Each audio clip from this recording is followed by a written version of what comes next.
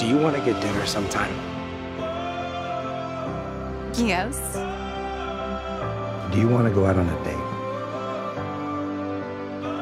Yeah.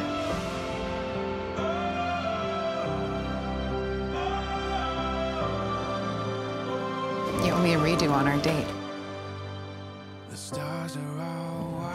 That's where we ended up.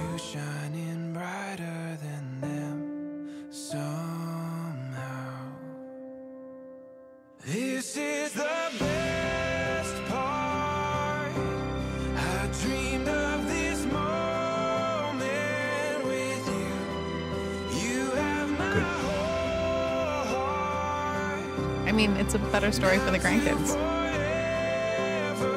We've got grandkids now. nice. Tim, Hey, Chen. I want to take things slow. So I guess this is our official first date. Go on this date, maybe a second date. Mm, last night was.